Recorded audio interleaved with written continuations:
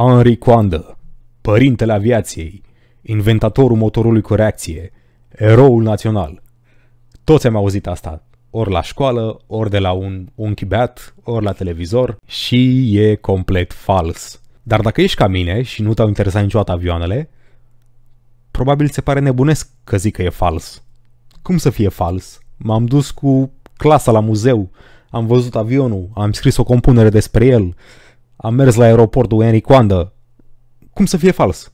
Menționez că nu sunt inginer, nu știu nimic despre avioane, dar o să-ți demonstrez că povestea clasică cu Henri Coandă care a făcut motorul cu reacții și a zburat cu el e complet imposibilă. Și hai să începem cu începutul. Henri Marie Coandă s-a născut pe 7 iunie 1888. Zodia Gemeni, desigur.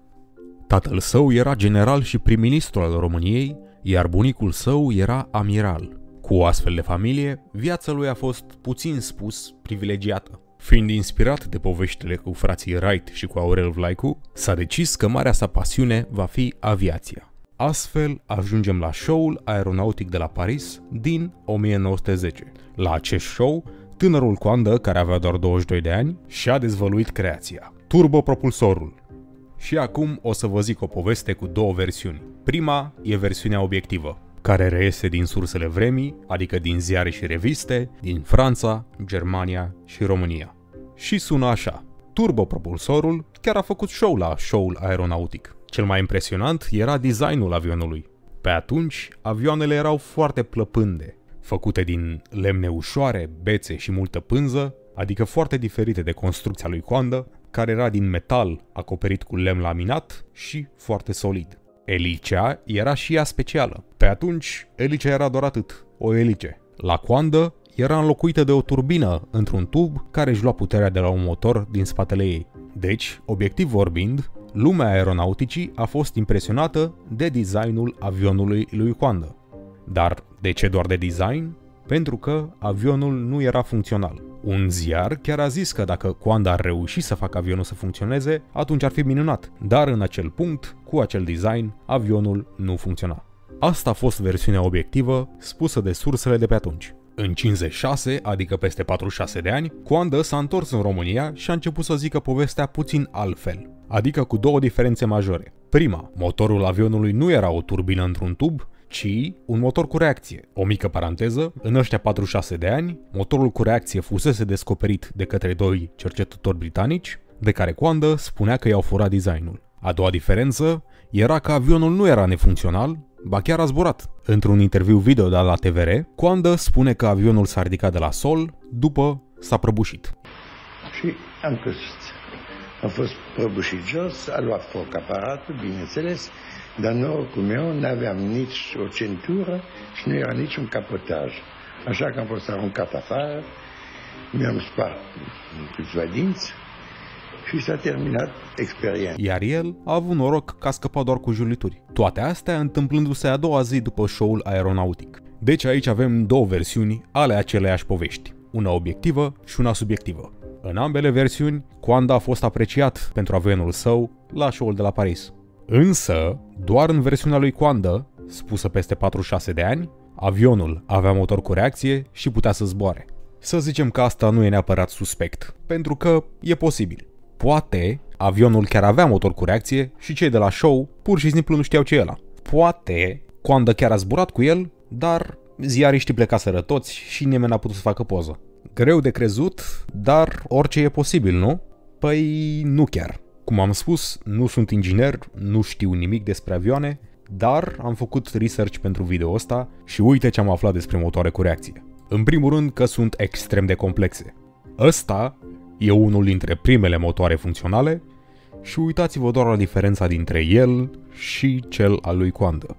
Un motor cu reacție are nevoie de combustibil, are nevoie de ardere și designul patentat de Coandă în 1910 nu avea așa ceva. În al doilea rând, arderea asta trebuie să ducă undeva. Un motor cu reacție are nevoie de eșapament.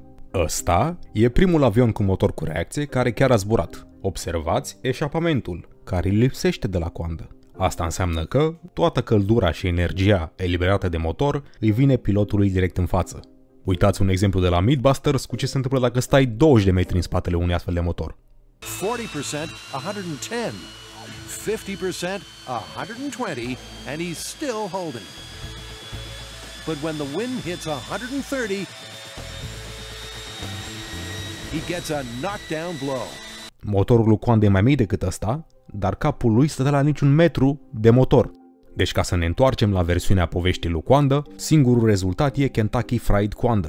Coanda ar fi fost carbonizat înainte să apuce să decoleze. Deci cum Coanda nu a fost carbonizat în 1910, putem să deducem că măcar una dintre aceste două lucruri spuse de Coanda nu a fost reală. Ori avionul nu avea motor cu reacție, dar funcționa, ori avea motor cu reacție, dar nu funcționa. Ori doar a mințit cu toată chestia. Dar de ce? Și asta mă întreb și eu. De ce? De ce a simțit nevoia Coandă să mintă în legătură cu chestia asta? Mai ales că el chiar era apreciat. Nimic din ce făcea nu putea să fie pus în practică, în afară de efectul Coandă, dar era un foarte bun designer. Cred că cea mai bună teorie care a răspuns la de ce mințea Coandă are legătură cu regimul comunist. Cam în același timp în care a început să zică minciunile astea prin 50-60, s-a și apropiat foarte mult de Ceaușescu. S-a întors în țară definitiv în 69, nice.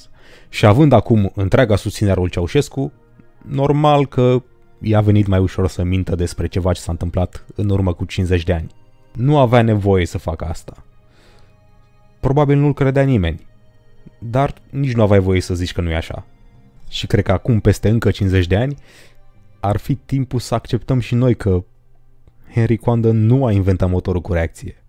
N-avem de unde să știm dacă minciuna a fost ideea lui sau ideea lui Ceaușescu, dar ar fi ceva să schimbăm numele aeroportului.